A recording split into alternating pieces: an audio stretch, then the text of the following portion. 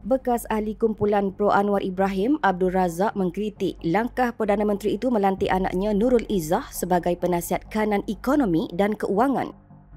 Beliau yang kini Setiausaha Agung Parti Hijau Malaysia mempersoalkan reaksi Pakatan Harapan jika Najib Razak melantik isterinya Rosmah Mansur sebagai penasihat ketika menjadi Perdana Menteri.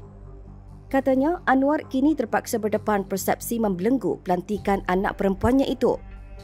Abdul Razak berkata, ketika menjadi ketua pembangkang, Anwar juga berdepan persepsi nepotisme ketika isterinya Dr. Wan Azizah Wan Ismail dan Nurul Izzah menjadi ahli parlimen.